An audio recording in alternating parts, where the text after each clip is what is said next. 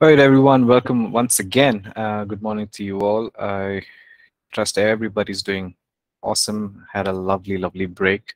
Um, so welcome to the course, BC 203, the local church. Um, uh, before we get started, why don't we just start off with a word of prayer, shall we? Yeah, let's pray.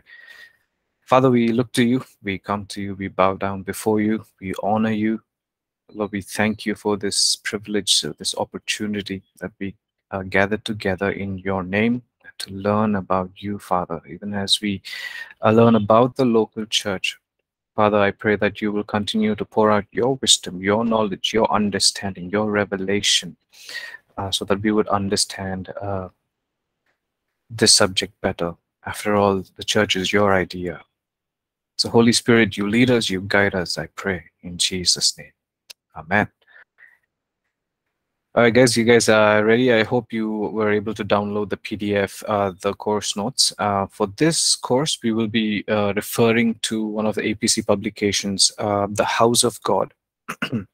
Excuse me. Right, The House of God. um, so just very quickly, uh, we'll go through the contents of uh, what we will be doing, right? In section one, we'll go through origins and purpose. in this section, we'll look all about uh, you know the origins of the church, um, the idea behind the church, the importance of the church, uh, and the the role of the church, right? And then we move on to the second uh, section, section two, uh, God's blueprint. Um, what is His idea? What does He think uh, about the church and how it should be? Um, and and the, third section is about divine order, the church discipline. We this is where we get a little bit more practical um, as well. Um, and then in section four and section five, uh, we will not be doing uh, all the chapters in section four and section five because uh, some of the chapters in section four and section 5 will be covered in your third year class uh, bc 310 that is church and ministry administration and uh, urban church planting. Uh, right so some of those chapters will be covered in your uh, final semester. Okay um, so let's uh, begin. So uh, all right guys so what is your idea or your understanding of the church? Give me all the right answers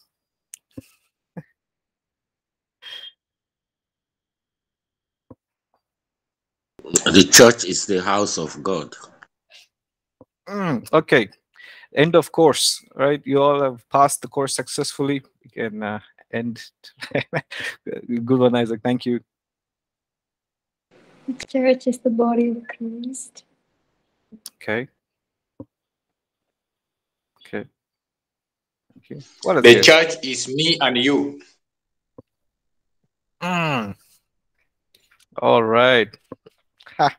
nice. Go ahead. Yeah, Church is where we gather to worship God, hear the word. Right. It's awesome. Thank you. Keep it going, guys. The church yeah. is people of God. The church is people of God gathering to worship God. Lovely. Yeah. Thank you. Thank you. Anybody else? Zelatoli, good to see you. Leah. Aradhana Subhashish. Yes, I can say again the, the, church is where the body of believers uh, right. congregate to to hear the word of God and um, to mm. uh, to to hear the word of God and then to relate with God. Right.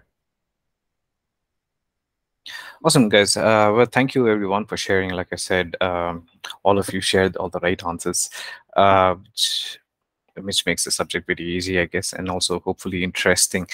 Um, yeah, it's everything that what you guys have shared. But then, uh, yeah, we also see that it, this course is all about understanding uh, God's idea of the church, right? And so we'll try and follow what is His blueprint, right? Uh, again, we all know what a blueprint is, isn't it? Um, the architects will have a better understanding of it when they are trying to build a uh, a, a project or whatnot, they will first plan it, sketch it, design it, then they will have a blueprint, right, as to how this um, building should look like, uh, etc. Everything will be planned out, right? The entrance, the exit, uh, the rooms, the hallways, the dining area, and whatnot, uh, right? So you get the blueprint and then you actually get into the work based on the blueprint. You keep looking at the blueprint if the measurements are right if the uh, everything is accurate in everything that you are doing or building right? So uh, the builders the construction workers the engineers civil engineers what whatnot right? They keep referring to what we know as the blueprint right? Um, it's it's uh, it's like it's it's a manual right? Uh, pretty much uh, like what um, God gave Moses, isn't it? Uh, you know, when he was uh, when Moses was with God for 40 days and 40 nights uh, in Mount Sinai, uh, it is there where he gets the instruction, right, uh, to how to build the tabernacle. Right, so God gives Moses the blueprint. So he brings that blueprint and then he gives it to the people. It's like, okay, we are to build a tabernacle. It's supposed to be this, uh, you know, this centimeter long, at this height, everything, including the details of the color. Okay, we need to have uh, these colors. Uh, these doors has to be made in this. Uh, these altars has to be covered in gold. Um, the nail should go this deep. Everything, isn't it, guys? So, um, and then they get into the work right? Um, so without the blueprint, what are you going to build? Uh, you know, you, another example, classic example, again, we all know of all this is Noah's Ark, right? God telling Noah, uh, okay, this the ark's got to be this long, this height, uh, it's supposed to have these many stages or whatnot, right? Um, if if God said, uh, okay, Noah, go build an ark, uh, right? I need more than that, Lord. Uh, uh, everything uh, when you read that story with its details it's so beautiful isn't it? Uh, about the tabernacle of moses be it about the ark uh, you know it has to be covered with pitch inside and out. Um, the details are amazing. And so then we pause. And then we've come so far uh, in our day and age where we can have our own ideas of a church oh, this is how a church should look like. Um, this is what it's supposed to do. Uh, and then we ignore the blueprint that was given to us by God. And then we have the tendency, tendency or the audacity to go ahead and just do what we whatever we want to do, isn't it? Um, if every church uh, on earth followed God's blueprint, I'm sure the earth would have been evangelized by now right? Everyone on our planet Earth, all the 7 billion people will be Christians. Yes or no, guys? Okay. we'll get to that later later. But uh, but it's what it is, I think, and this is my humble opinion. I think somewhere along the way, uh, it, it is possible that we've lost sight of God's heart, His blueprint, uh, His desire, His vision uh, for His church. Uh, and that's what this course is all about. It's not, uh, we're not going to talk uh, about a bunch of methods or techniques. Uh, we'll talk about a certain uh, methods, but it's, but everything based on the word of God okay. Uh, but a little later on in the chapter i will make this point but i'll say it now anyways that over the centuries uh, you know that has passed by that has gone by we've seen uh, the methods have changed or evolved right? But anything that's related with with us as christians right? Um, but the principle remains the same Okay, so we'll talk about all of that as we progress. So this is the heart behind this subject, uh, is that we would understand and capture the heart of God for his church because it's his desire, it's his uh, idea. Are you guys with me so far? Yep, yes, no, maybe. Oh, I hope everybody had your morning coffee or tea, green tea, whatever. Okay. Fantastic. Okay, so we'll go uh, in your notes, we'll go to page three, um, the first chapter um, titled The Church. its spiritual and natural dimensions. Okay, remember this is section one and it's uh, partly labeled uh, the origins and purpose. Okay, so that's what this uh, chapters are going to focus on. Okay, the origins and purpose. That's section one. And so it starts off by saying, I will build my church. Right? I will build my church. Um, let's go to Matthew chapter 16. Uh, although the uh, I know the notes, it gives us a scripture. Um, let's do a little bit of hard work. Open our Bibles. Okay, um, go to Matthew chapter 16. Hey Sid, good to see you.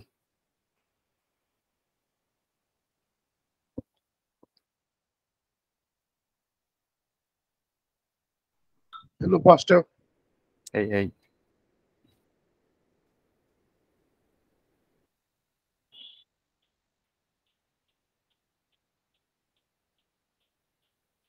Okay. Uh, so assuming that we've all um, come to Matthew chapter 16, um, let's look at,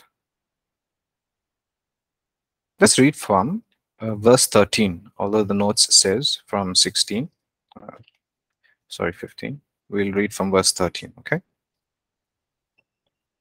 And can someone read for us, please? Matthew chapter 16, verse 13 to 19.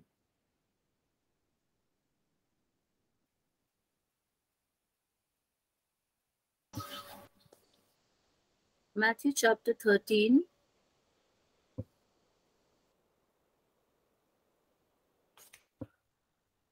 Yeah, go ahead, Rosalind. Um, it's Matthew chapter 16, verse 13 onwards. Therefore, I speak to them in parables, because seeing they do not see, and hearing they do not hear, nor do they understand. And in them the prophecy of Isaiah is fulfilled, which says, Hearing you will hear and shall not understand, and seeing you will see and not perceive. For the hearts Uh, of people. sorry to uh, Rosalind, sorry to interrupt. Uh, we are in Matthew chapter 16, uh, not 13. Uh, sorry, it's Matthew chapter 16, verse 13 onwards, 13 to 19. Sorry, Pastor. No, no problem. When Jesus came into the region of Caesarea Philippi, he asked his disciples, saying, Who do men say that I, the Son of Man, am? So they said, Some say John the Baptist, some Elijah, and others Jeremiah, or one of the prophets. He said to them, But who do you say that I am? Simon Peter answered and said, You are the Christ, the Son of the living God. Still 16, Pastor. Uh, no, go, go until 19, uh, Rosalind. Jesus answered and said to them, Blessed are you, Simon Barjona, for flesh and blood has not revealed this to you, but my Father who is in heaven. And I also say to you that you are Peter, and on this rock I will build my church, and the gates of Hades shall not prevail against it. And I will give you the keys of the kingdom of heaven and whatever you bind on earth will be bound in heaven, and whatever you loose on earth will be loosed in heaven. Amen. Amen. Thank you, Rosalind.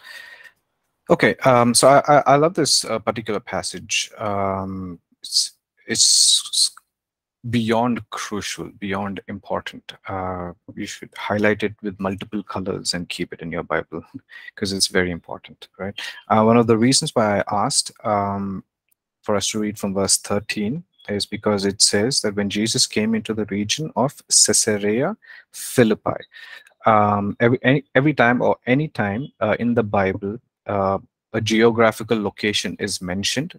Uh, it's very important for us to understand its context, okay, of the passage that we are reading. Uh, we need to ask why is that place uh, mentioned? What you know, because Bible is filled with stories. It is not everywhere that uh, not all the geographical locations are mentioned, right? Uh, you guys, just hold on a second. Are you able to hear me? Well, okay. Yes, Pastor. Okay. Just give me one moment. Something's doesn't seem right. Okay, just hold on, please. Apologies.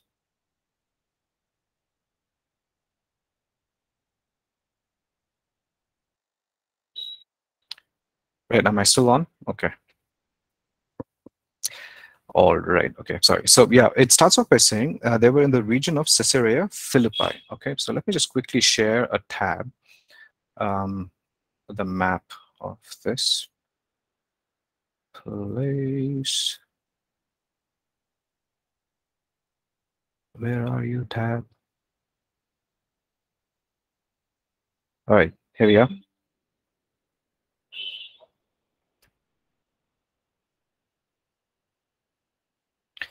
Great. Uh, is this visible? Can everybody see? Yeah. Cool. Okay. So, um, yeah, this is the map of uh, Israel, the ancient Israel, as you can see. Um, okay, we see where the Sea of Galilee is. Uh, you see where Nazareth is. Okay. And then you see all the way up here in the north is Caesarea Philippi. Okay, Caesarea Philippi. Uh, now, this region was a big no-no for the Jews. It was strictly prohibited area for the Jews to go that side. Now, it was one of it. Uh, it was one of the areas uh, even before the time of Jesus. It was a very uh, popular route uh, for international trade between Mesopotamia and Egypt and whatnot. Okay, uh, and also uh, why was it a big no-no for the Jews, and why is Jesus there? Is what makes this whole passage amazing, right? so they are in Caesarea Philippi. Now, it was it was ruled during the time of Herod.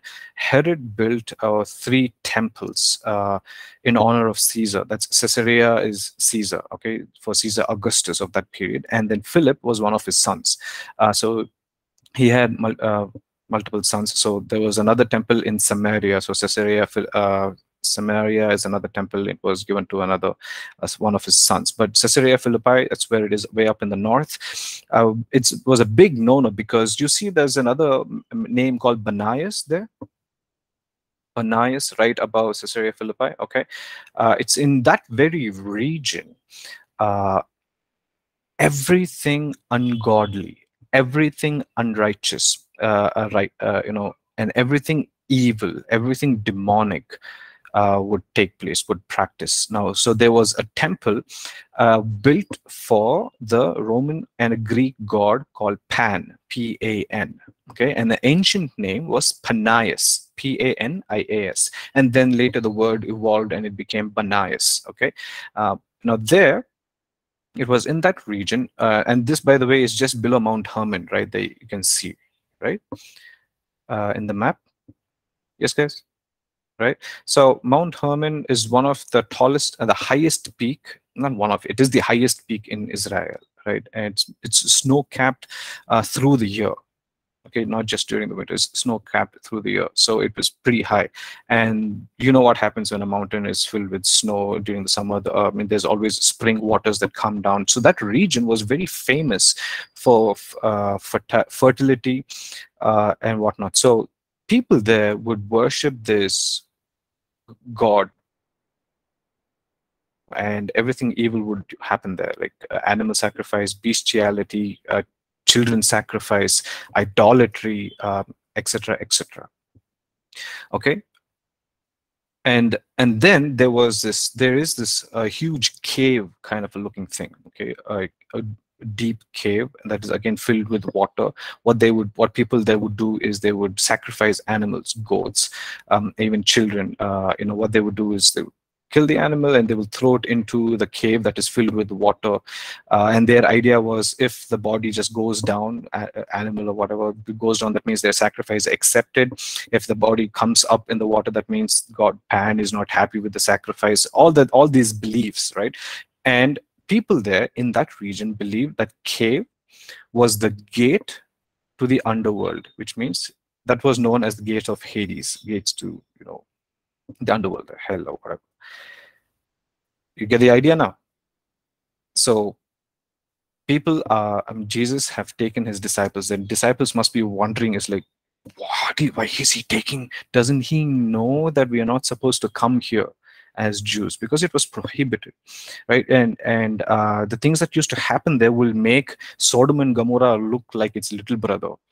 Okay, so that's how bad the situation was. It is in that point where the caves and uh, the rocks are filled with idols and all these evil practices, and there Jesus asks, "Okay, who do you say I am?"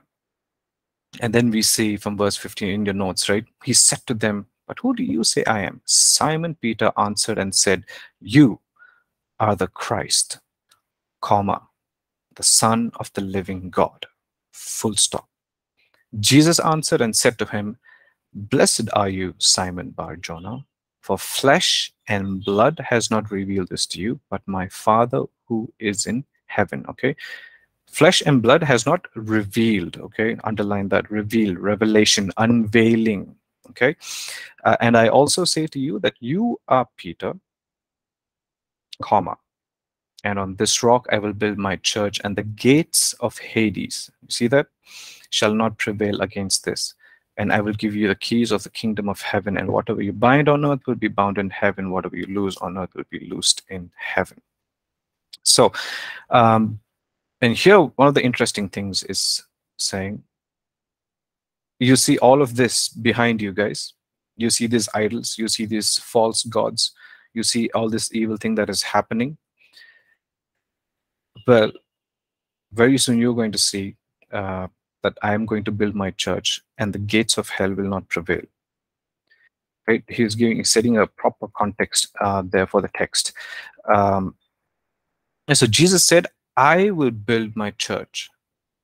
I will build my church. So that means the church is his. Um, the denominations are man-made, okay? Um, but the church is God's idea. It is his. It belongs to him. And then he says, uh, the gates of hell shall not prevail, right? Um, so in the olden days, no, again, uh, in the olden days and now, uh, gates, uh, it's, it, it's like uh, what used to happen. Uh, we have like the panchayat system, uh, right, in India, um, panchayats. Uh, so where all these leaders of the village uh, gather together and make decisions and whatnot. So very, it's very similar to the ancient times. At the gates, there would be, uh, you know, the leaders of the city who would gather together and make decisions, give justice or whatever. So the gates were strong points of a city very important very very important. Uh, right? It was it, it gives access to the entire city. But nevertheless gates are stationary. Right? It doesn't move. Uh, when Jesus says, and the gates of hell shall not prevail, Jesus is also suggesting that the church that he is going to build is going to be built on the revelation of that he is the Son of God and that the church is going to advance to the gates. We as a church are to advance. What happened here in this setting? Jesus went to this gate, isn't it? The gates didn't come here. The gates of Hades is what they call it in the people in Caesarea Philippi. It didn't come to Jesus. Jesus took his disciples and he went to that region, isn't it? Um, and so what Jesus is saying is that the church that he is building will destroy the powers of darkness now, the gates of hell, right, the gate, the Hades, right, will not prevail. That means when you destroy the gates of hell, everything that, that the hell is known for, you know, the, the, the demonic kingdom is known for, will not prosper. And then he says uh, in verse 19, I will give you the keys of the kingdom of heaven. I will give you the keys of the kingdom of heaven. And uh, in Revelation 1:18, uh, we see that Jesus telling that the keys of the kingdom of heaven has been given to him, right? All authority And then he goes on to say that whatever you bind on earth will be bound in heaven, and whatever you loose on earth will be loosed in heaven. Right? And uh, we, as the church of God, we've been given this power and authority. Right? Uh, uh, one of my uh, favorite scriptures in the recent past is uh, in in in the book of chap uh, the book of uh, Acts chapter nine, I guess nine, I think, uh, when Jesus tells Ananias to go and uh, meet Paul, and Ananias is very scared. It's like, why should I go and meet Paul? You know, he's killed your people. It's like, no, I he is a chosen vessel. I have chosen him to carry my name. I have chosen him to carry my name, right? Uh, when you think about all the brands of this world, uh, Zara or whatever, Reebok, Nike, Adidas, Ferrari, uh, Lamborghini, think of uh, what is this, Milton Flask, uh, whatever, right? Any every product, every brand of this uh, on this planet wants you to carry their name right? That's why the sportsmen, all these athletes have uh, these uh, deal with these uh, sports brands like Nike and Reebok. Okay, I want to buy Nike T-shirt. Why? Because Roger Federer also wears a Nike T-shirt, um, etc., etc. right?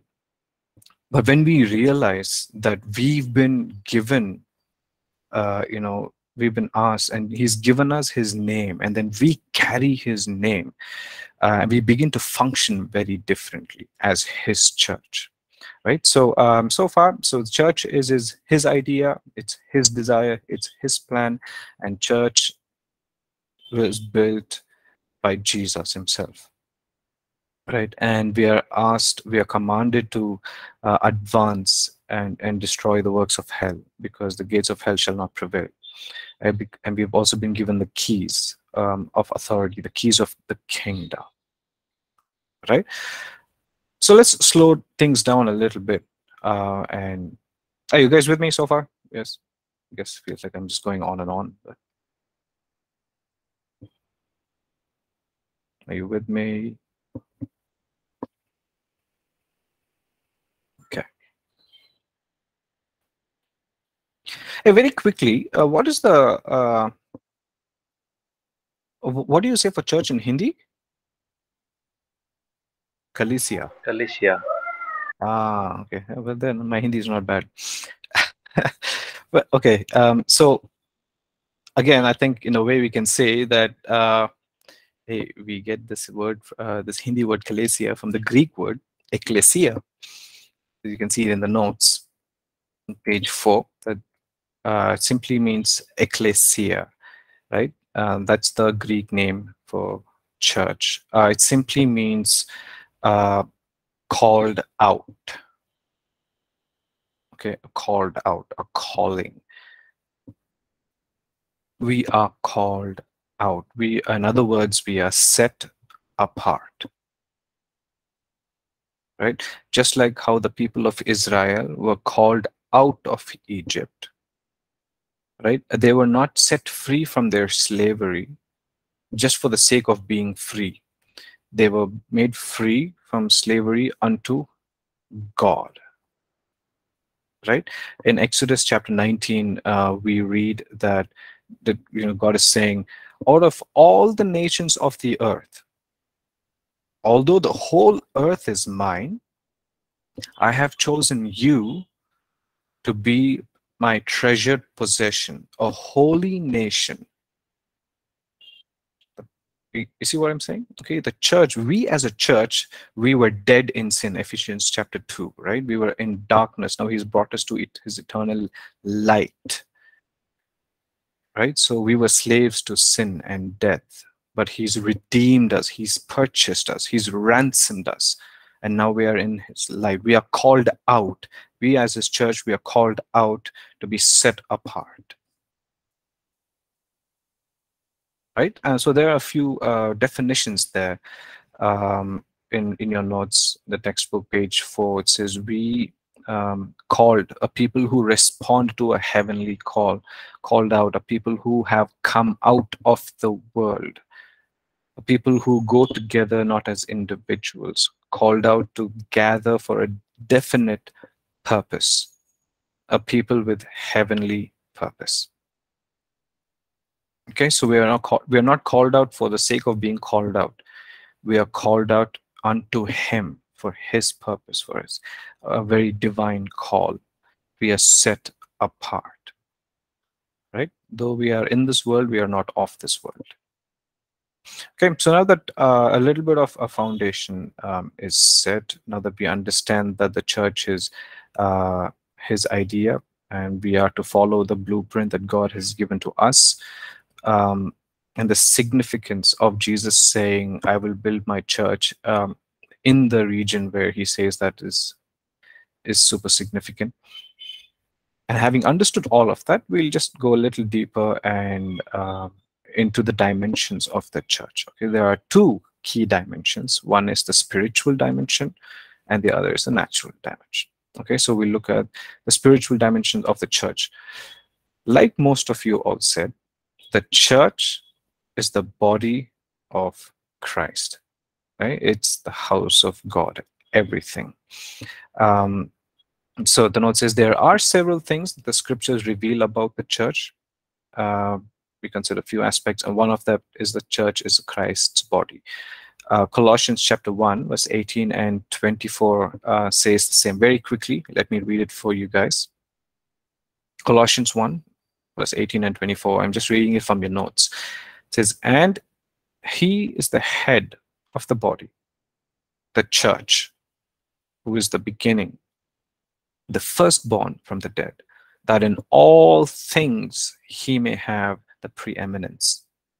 Verse 24 I now rejoice in my sufferings for you and fill up in my flesh what is lacking in the affliction of Christ for the sake of his body, which is the church. It's powerful, isn't it? Um, so the spiritual dimension of it is uh, that the church is his body. That means when we say yes to God, when we say yes to Jesus, when we accept Jesus as our personal Lord and Savior, what happens? Salvation there. And that means we are being part of his body, right? Every member, every individual, right? Uh, there's so many things. Uh, we get baptized uh, into his church through by the Holy Spirit. Um, uh, when someone receives us, they receive Jesus. Uh, when someone hears us, uh, they hear him. If they reject us, they reject him. All the scripture uh, references are given in the notes, right? And again, once uh, one of my favorite things is from chapter nine. When someone does us harm, they are harming Christ. Acts chapter 9, verse 5, uh, the famous incident when when Jesus shows up, encounters Paul. What is the first thing that he asks? He is persecuting the church. Jesus shows up and says, Why are you persecuting me? Isn't it? Mm, so we as a church are his body. Right? We've been baptized. Baptized is immersion. That means, we, uh, uh, and also means that we've been brought in to his family. Right? Uh, we'll look at a little bit in, in the Great Commission as we progress as well. Okay, so the church is the body of Christ, uh, and because Christ is the head and he is eternal, the church is also eternal. Right? It is the church is not a temporary arrangement, but an eternal handiwork of God. Right? Uh, John chapter 3, verse 16. Uh, whoever believes in him shall not perish, but have eternal life or everlasting life when we say yes to Jesus, one, we become part of his body as a church. And because he is eternal, the church, we, the church, are also eternal. Right? And and we've uh, we've already uh, gone through this section in the previous section that church is Christ's instrument to execute his purpose uh, we are to advance against the gates of hell because we've been uh, the kingdom authority and power has been vested on us um, the keys has been given to us right? Then let's move on. Every believer is a member of Christ's body, individually as well. First Corinthians chapter 12, verse 27.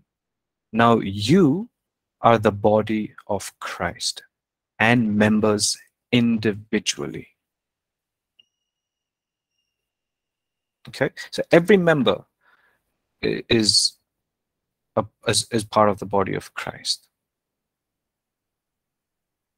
And so that's the spiritual dimension uh, of to the church. Uh, and the next section is the natural dimensions of the church. Okay, so here, we just before we continue, just to draw a distinction between the spiritual dimension and the natural dimension. The spirituals are the intangibles, the things that we cannot see. When we say we are part of his church, we are part of his body, uh, are the other intangibles, right? The things that we cannot see, but we believe by faith. And then the natural dimensions are the things that we see, the tangibles. Okay, the things that we can explain or quantify um, and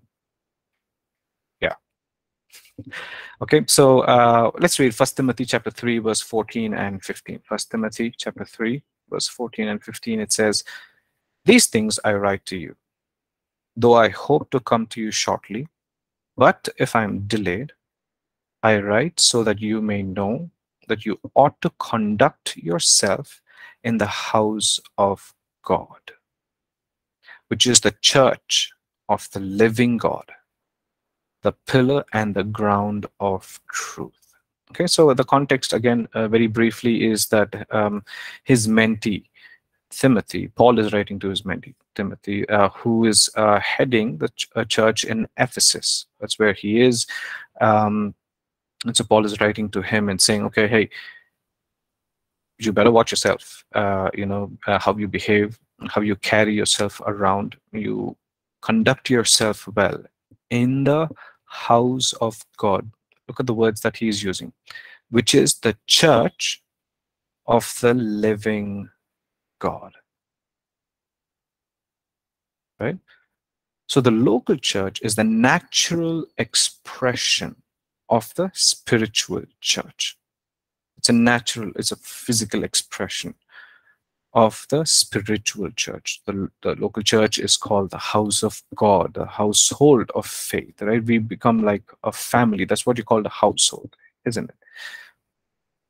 In Ephesians chapter 2, verse 19, it says, Now, therefore, you are no longer strangers and foreigners, but fellow citizens with the saints and members of the household of God it's a very important chapter, Ephesians chapter 2, isn't it? It talks about our redemption through Jesus Christ, how he is our righteousness, how he has saved us and ransomed and redeemed us from darkness into light. And because Jesus has done that, Ephesians 2.19 says, therefore, right? And I say this all the time, right? Anytime there's therefore, you need to ask, why is it therefore? And right, uh, so the previous verses will give us the context. And then it says, You are no longer strangers. Because of what Jesus has done on the cross, because he died and rose again, because he shed his blood for us, because we are redeemed and purchased and bought by his blood, we are no longer strangers or foreigners. We are citizens with the saints and members of the household of God. so we, uh, we are the physical and the natural expression of the spiritual church. Right um i hope you guys are with me. Um in in page uh we are, we are in page seven. We've already expressed um, that the local church is the physical expression of the spiritual body of of christ in a certain geographical area okay so when he sees that there's uh, there's a church in in bangalore in Kothanur area uh, or in wherever africa nigeria um, what he sees he does not see the denomination. He doesn't see that it's a methodist or a lutheran or an ag or pentecostal or uh, cpm apc right? Uh, he sees it as the physical expression of his church for that area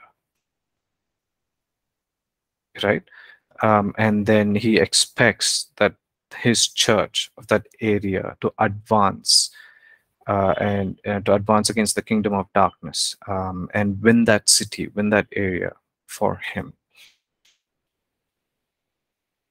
Okay, and then finally, this, I want to just close with this uh, very, uh, I think, important question. Um,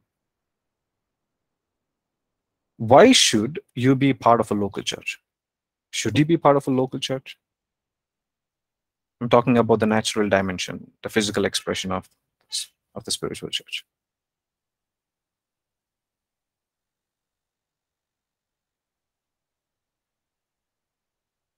Come on, guys. It's not a trick question, but Can I can I say something? yeah, sure. Yes, uh, I think we should be part of the local church because, as already established, is the expression and the purpose and the intent of God through Christ. So we should be part of the local church so that we can carry on the purpose of God in establishing the church. Thank you. Thanks, Isaac. Very interesting that you mentioned that so we can carry on the purpose of God. Uh, I think we'll touch on that a little bit in just next section. But yeah, go ahead. Somebody else was saying something? It is also a command that we got we get from God that we should we should never stop gathering. Hmm. Yeah, Wow. so we should be part of the church in order to fulfill a command that was given to us. Thank you, Pastor. Thank you. So, but here's another question to all of us, um, and it's uh, kind of rather a genuine question. Okay, why wouldn't people want to be part of a local church?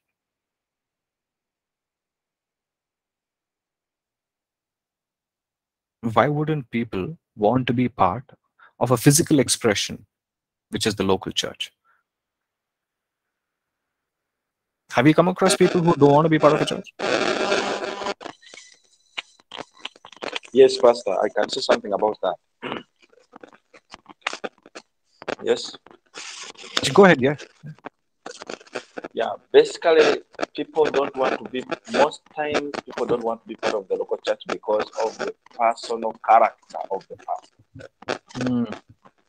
The way pastor conducts himself or how he conducts himself in the area.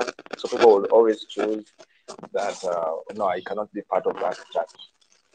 So the best way, since we are attending a Bible college, we should also mind that church is church, but we should also mind about our personal character, our personal conduct in the community, so that we don't repel people away from church. Thank you. Thanks, Viveka. Yes, yeah, that's wonderful. Yeah, when a leader is not a leader of character, is one of the reasons. Yeah, thank you. And what else, guys? Come on, just talk to me. Uh, put it in the chat section. Why wouldn't people want to be part of the local church?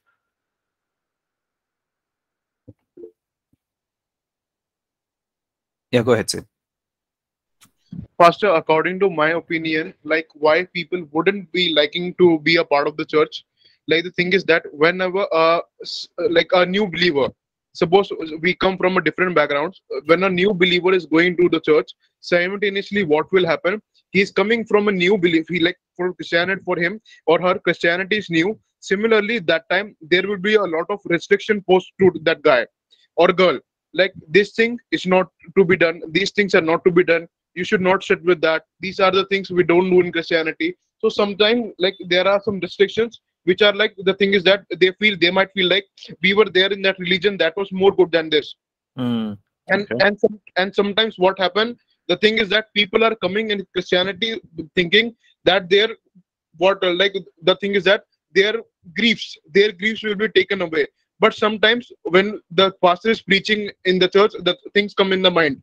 You have to take your own cross. You have to take your burden. You have and the, sometimes the verses are being preached in the church like the father father against son mother against daughter. So sometimes this kind of a teaching when it is posted in the church like it's been taught people will think yeah we will people will think like we were happy there so these are some of the points according to me which like if a person is listening he would say like i was happy not coming to the church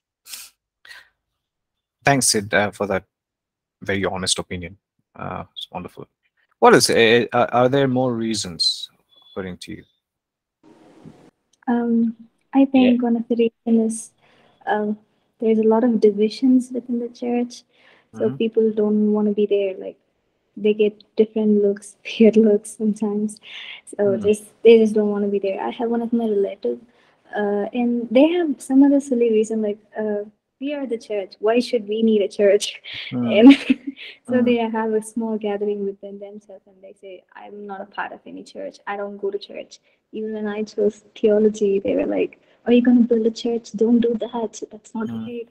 Like we are the church. Why we need a church? Why we need a physical building? all Right. Yeah. Yeah.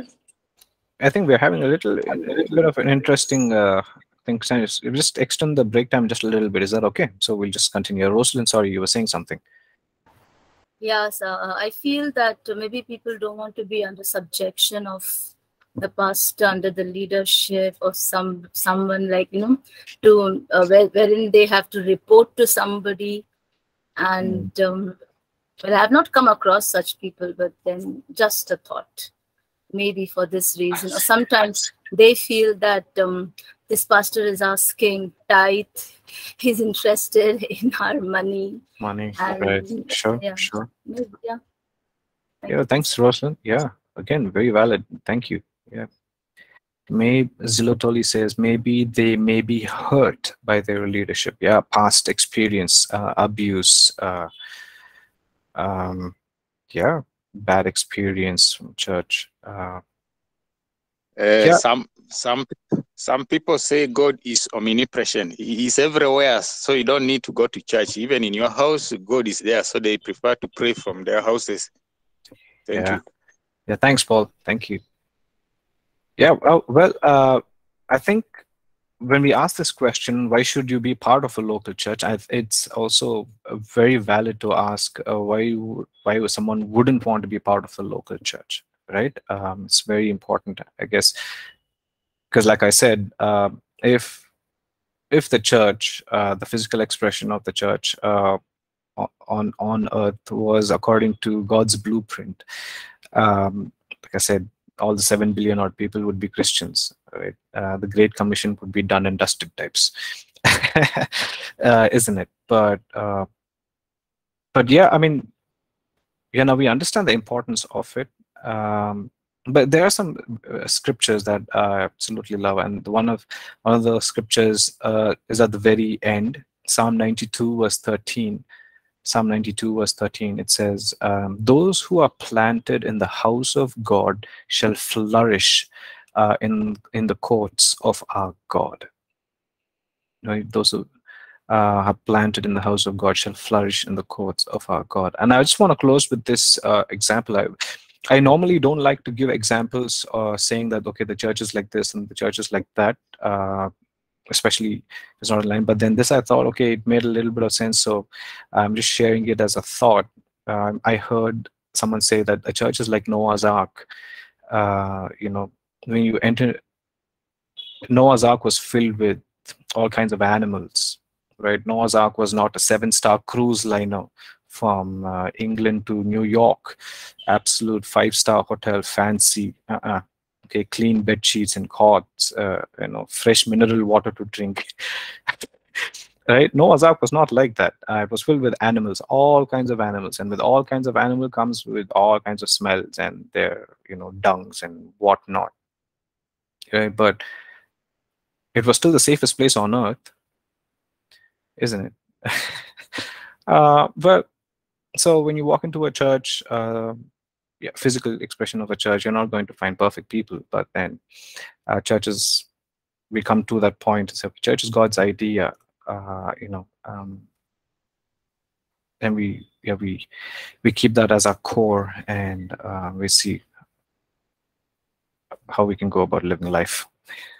Right. So uh, I'll I'll stop the recording here for this session.